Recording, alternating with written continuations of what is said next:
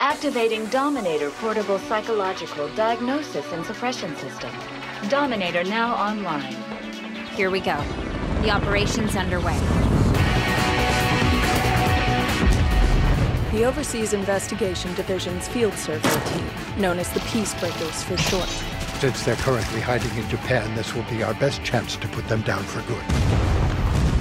The research is collectively known as the Stronskaya Papers. In theory, her models predict what effects the Sibyl system would have on the rest of the world. Why did you really come back to Japan? Would you have come back if I'd invited you instead? Why is this so important to Tonami? Must be part of a bigger plan. Both justice and truth have many sides. Some things you can't understand unless you're looking down from on high. But even if that's true, I believe in you because you want to do what's right. Try to stay focused on your next steps. That's my advice.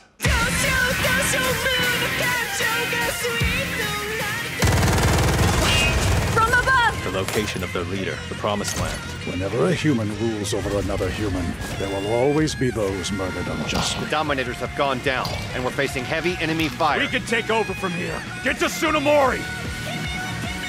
Mankind created an all-powerful god and named it Sibyl. But it is also man who now attempts to kill that god. Give up. The law will judge you now.